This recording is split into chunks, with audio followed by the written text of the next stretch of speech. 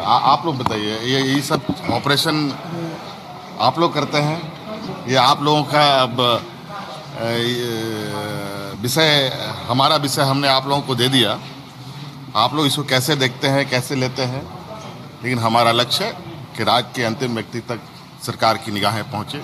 विकास की योजनाएँ जाए। दादा ग्रामीण इलाकों को फोकस में रखा गया है इस बजट में और जो संथाल परियोजना में एयरपोर्ट की एयरपोर्ट योजना है एयर एंबुलेंस भी दे रहे हैं। सभी चीज़ें तो माननीय मंत्री जी ने सदन में रखा है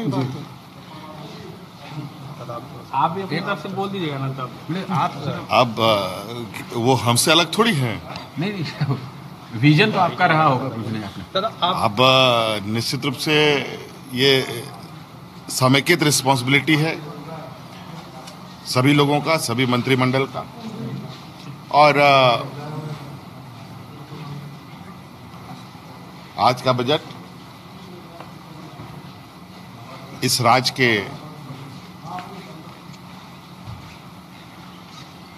जनमानस की बजट है।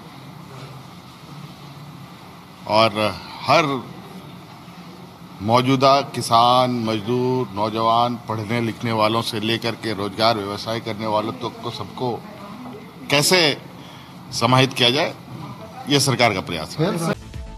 अपने राज्य से जुड़ी हर ताज़ा खबरों के लिए आप हमें सब्सक्राइब करें, साथ ही बेल आइकन बटन दबाना ना भूलें।